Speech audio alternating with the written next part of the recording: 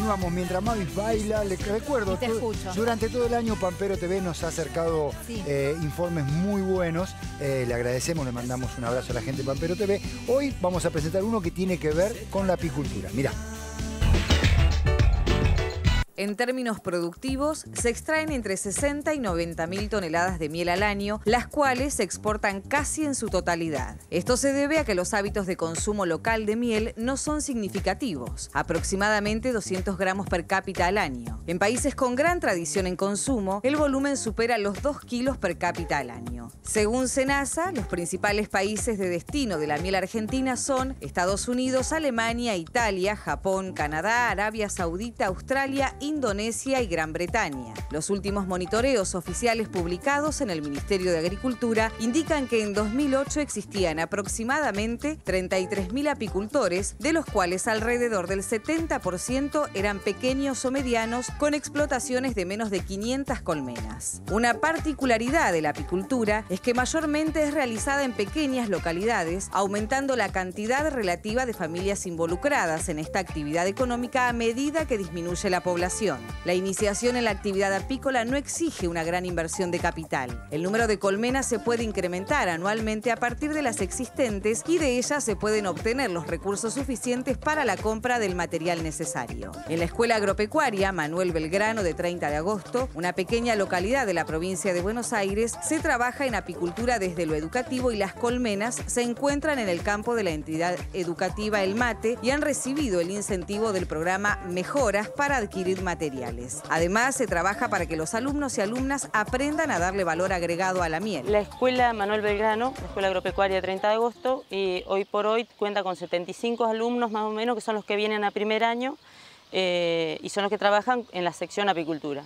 Eh, de ahí también se suman eh, los de quinto año y sexto año que trabajan en duplas, de acuerdo a los proyectos que ellos vayan a hacer. Hoy en día tenemos 50 colmenas en el campo El Mate, que pertenece a la escuela agropecuaria, y tenemos acá algunas, poquitas, cinco colmenas, que son, están en la escuela para que ellos trabajen a diario. La escuela agropecuaria cuenta eh, con el plan Mejoras, eh, es un plan que manda la Nación, este plan es para todas las escuelas agrarias, eh, y, bueno, va en cada escuela sumarse a ese proyecto porque lleva mucho tiempo, lleva muchas planillas que hay que completar, mucha cantidad de presupuestos para que nos aprueben y nos manden el dinero.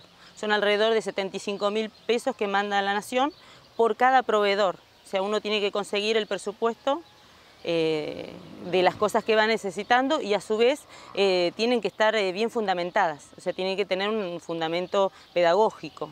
Con el plan Mejora, la Escuela Agropecuaria de 30 de agosto logró conseguir las mesas de acero que necesitaban para hacer la sala de extracción, conseguimos el extractor nuevo, el desoperculador, que es el aparatito que saca los, los opérculos de los, de los cuadros con miel, y mm, además de eso, las bateas que separan la cera de la miel, y bueno, colmenas también, las 50 colmenas que nosotros conseguimos, hay 20 que son de, de- otorgadas por el Plan Mejoras.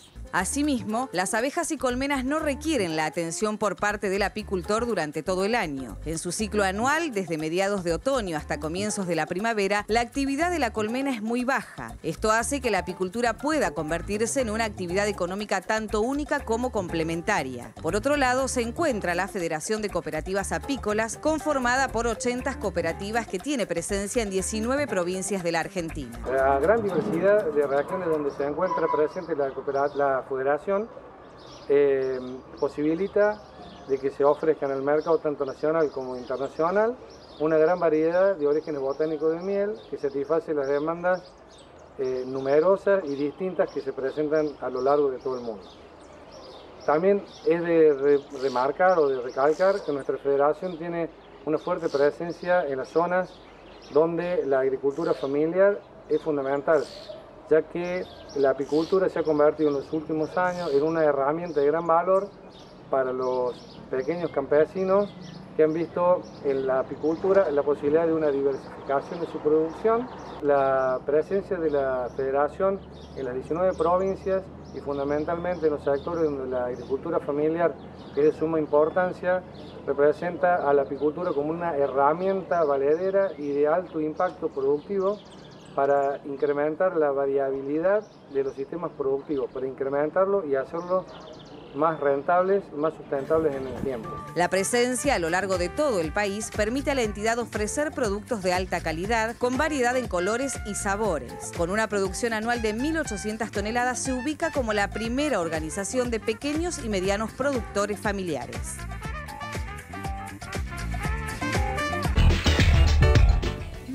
Bien. Muy bien, ahí está. Se- Le estaba preguntando algo que hace poco eh, tomamos una bebida que era la más antigua del mundo, aguamiel, Sí, agu- aguamiel, hidromiel, hidromiel, hidromiel. ahí está, hidromiel. Y estaba viendo cuando recién Gracias. escuchábamos que decía, bueno, las diferentes tipos y lo probamos y eso estaba muy bueno, muy rico. Exactamente, Para perfecto. brindar el, el 24 y el 31. Está rico. Dulce, está rico. dulce con él. Bueno, nos Nos vamos, vamos a la pausa. ¿le sí? Sí. sí, dale, dale.